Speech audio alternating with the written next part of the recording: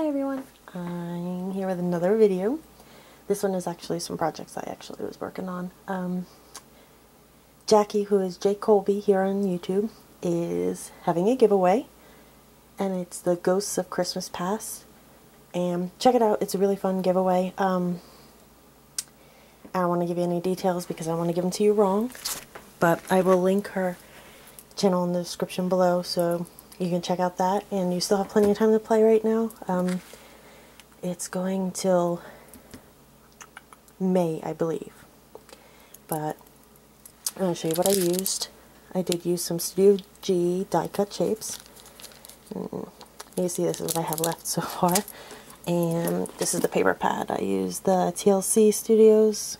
It's in um, all occasions. There's all kinds of papers in here. From lights to darks. I'm sorry, I'm flipping through real quick, but I'm sure everyone's seen this. And I picked this up at Ollie's, which is um, a new store by me. And what you're supposed to do for this is use an item that you've bought and you've never used. Um, yeah, I'm guilty. I have many, but this is one. It's the Sizzix Pop 'n Cuts. It's an insert for cards. And that's kind of what it looks like. It's just a hole in the center. Um, there is actually, this is the insert. There's actually another piece that this sits inside of that'll cut the actual card itself. And I can never find that. But I did find one of these inserts. And actually, believe it or not, you can do the you could do it without it. This will cut the inside portion here that it shows you. Let me show you. So what I have is this piece here in that. And this is the part that I have. So I made a couple cards by cutting the paper just a little bit bigger than the inserts. So this one says, you are amazing. And then when you open it up,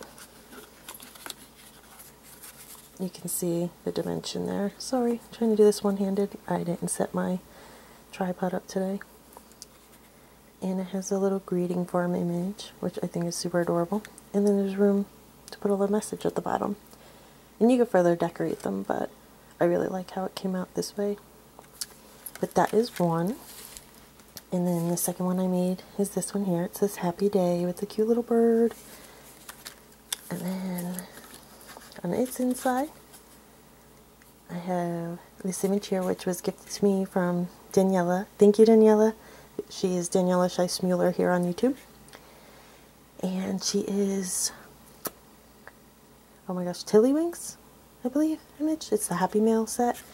Oh, I think she's adorable. But I did this one. And then one more. And it says Dream Big. And I love the postal paper in the background. And I thought the hot air balloon would be the perfect touch for that one. And then on the inside of this one, they have the CC Designs image that was gifted to me to color, which I so adore. She is super cute. And I loved making these kind of like a like a fireplace and mantle, even though it's not really, but that's the best way I could describe it. but this would be cute if you use these and um, kind of make it like a clothesline between them, or you can hang banners and stuff. There's, I mean, the sky's the limit. I have a whole bunch of these inserts cut out, so I'm hoping to get some time to make some more. I think they turned out super, super cute. Like I said, thank you so much, Jackie, for this challenge. And it's super, super fun. It's getting me using my paper crafting again, which is awesome because it's been so long.